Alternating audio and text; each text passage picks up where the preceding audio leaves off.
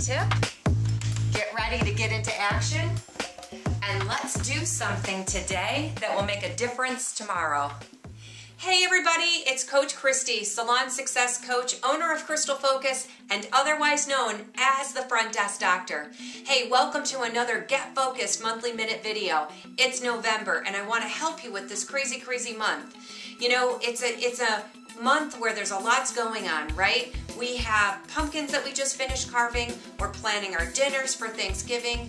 All the while we are decorating our salons and our homes for the holidays. That's a ton of stuff going on, right?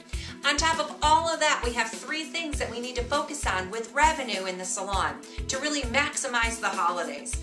Number one is we really need to take a look at setting up a plan to sell through all of those holiday retail items that you just brought in.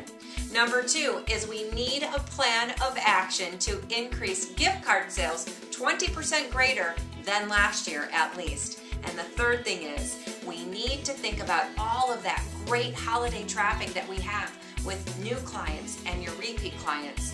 What can we do to make sure that they pre-book in January and February to make a strong new year in 2012?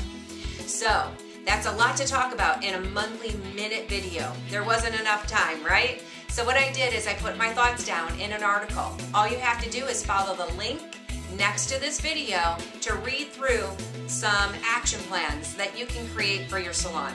I hope you email me at your success for November at Coach Kristi at crystalfocus.com. Will you email me? I hope so. So click on that link and get started, and I will see you in December. Until then, get focused, get crystal focused.